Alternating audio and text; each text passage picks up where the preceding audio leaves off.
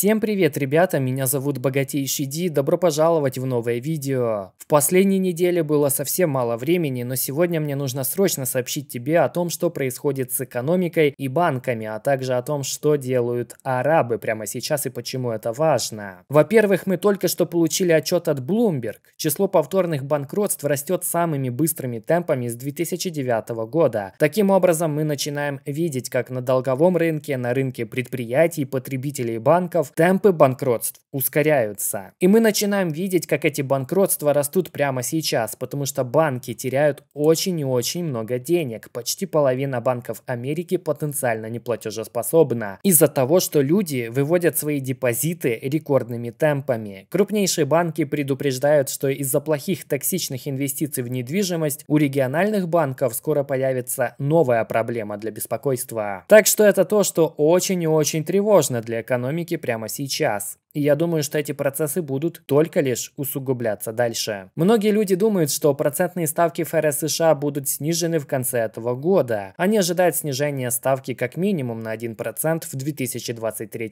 году. Я не думаю, что это произойдет. И это подводит нас к следующей теме. Инфляция, индекс потребительских цен, снизился в США до 4,9% за предыдущий месяц. Базовая инфляция сейчас выше 5,5%. Люди воспринимают воспринимает это с надеждой, но инфляция все еще в два с половиной раза больше целевого уровня в 2%, который стоит перед ФРС США. Так что пока рано праздновать. Однако рынок, как мы видим по этой статистике, ставит ставку на первое. Мы не войдем в официальную рецессию, хотя сейчас мы уже находимся в этой рецессии. И второе. Рынок делает ставку на то, что ФРС США начнет снижать процентные ставки до того, как инфляция опустится до 3% и ниже. 96% рынка ожидает, что процентные ставки будут снижаться уже с ноября этого года, 74% считают, что с сентября этого года. Но здесь прячется один большой риск, о котором никто не говорит. Представим, что инфляция CPI упала до 4%, и ФРС США начинает снижение процентной ставки. Что будет дальше? Мы получим обновленные экономические данные, и там мы увидим рост экономической активности как следствие снижения процентных ставок. Когда люди начнут тратить деньги как сумасшедшие, это просто заставит инфляцию снова подскочить еще выше предыдущего пика. Напомню, что он составлял 9,1% в июне прошлого года. Поэтому Федеральная резервная система, как мне кажется, должна об этом знать. Они помнят свои свои ошибки 1970-х годов, когда они подняли процентные ставки после вот этого пика инфляции. А затем, как только инфляция начала снижаться вот здесь, как ты видишь, они начали сокращать процентные ставки и сократили их практически вдвое. Что произошло потом? Затем инфляция взлетела еще выше предыдущего пика. Это еще одна вещь, о которой мы должны знать. Инфляция приходит волнами. И у нас было несколько волн инфляции в 70-х. И я думаю, что и на этот раз нас может ожидать нечто подобное. Так что это большой риск для рынка. И эйфория, которую уже испытывают люди по поводу свежего отчета про инфляцию, может оказаться для них фатальной. Они становятся слишком оптимистичными. Если инфляция так стремительно падает, то ФРС США должна начать снижать процентные ставки даже до того, как инфляция упадет до 3%. Так думает рынок.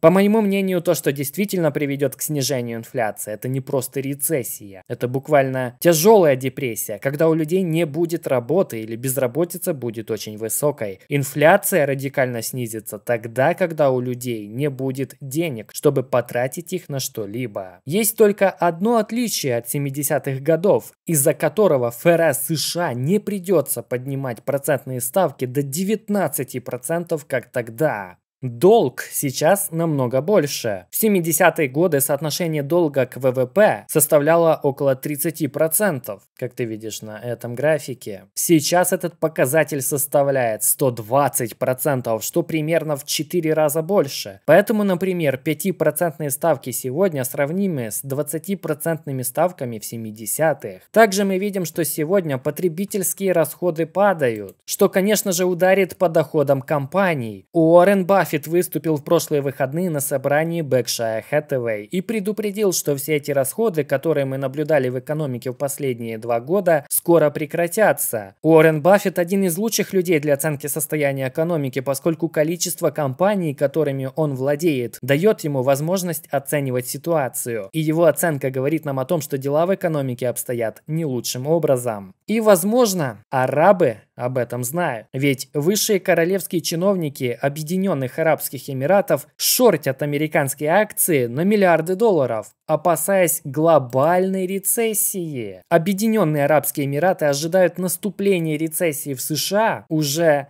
в июле этого года, что на два месяца раньше прошлого их прогноза. Bloomberg также сообщает, что топовая инвестиционная фирма, которая контролируется Абу-Даби, открыла шорт-позиции по акциям США на миллиарды долларов. Когда королевские чиновники ОАЭ продают акции США, мы должны спросить себя, что знают они из того, что не знаем мы. Такое уже было несколько раз в истории. Например, Саудовская Аравия шортила американский фондовый рынок перед известным событием в сентябре 2001 года. При этом, что интересно, они шортили как раз такие акции авиакомпаний. Я сейчас занимаюсь тем, что пытаюсь найти информацию о том, какие именно акции они шортят на этот раз. Когда я это узнаю, обязательно опубликую новую, обязательно опубликую новое видео об этом этом, поэтому подпишись и поставь лайк, чтобы не пропустить. Но что еще делают арабы? Они привлекают криптобизнесы в свою страну. Например, Ripple переезжает в Дубай.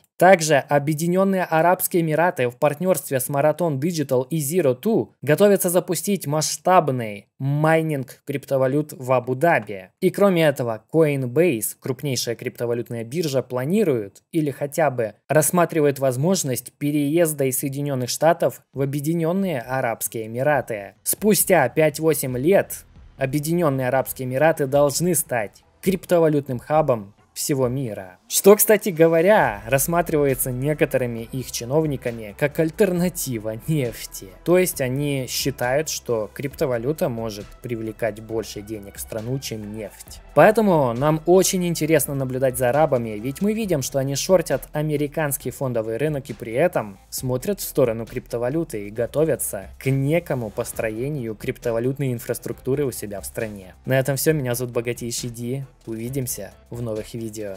До скорого!